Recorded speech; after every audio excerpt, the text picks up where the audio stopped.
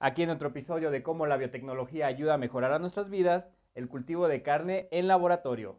La Organización de las Naciones Unidas para la Agricultura y la Alimentación, por sus siglas FAO, estima que alrededor de 843 millones de seres humanos en el mundo sufren de hambre y malnutrición crónica. Además, cerca de mil millones de personas poseen un inadecuado consumo diario de proteínas.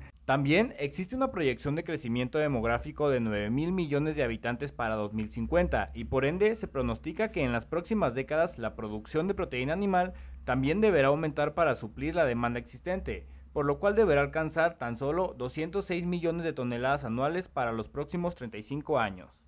Entonces con esto nos quedan tres opciones. Una de estas sería aumentar el precio de la carne para que este producto sea más dosificado o bien también podríamos destruir tanto selvas como bosques para aumentar el área de cultivo de ganado. Y por último, también una buena idea sería cambiar nuestros hábitos alimenticios para todos volvernos veganos y así dejar de consumir este tipo de productos cárnicos.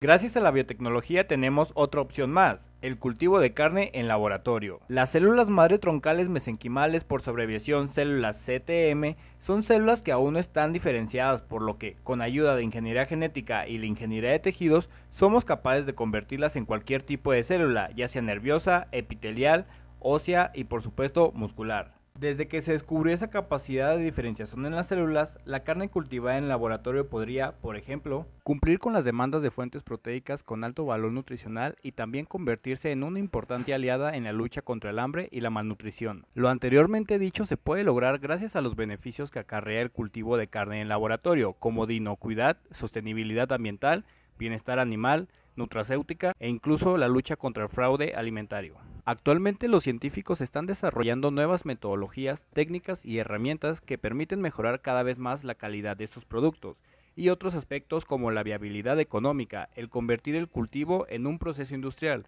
además los permisos de producción, comercialización y distribución, e incluso la aceptación por parte de la población en general. Ahora dime tú, con la información que has aprendido a lo largo de este video, ¿consideras tú que será buena idea empezar a cultivar carne en laboratorios o seguir del modo tradicional?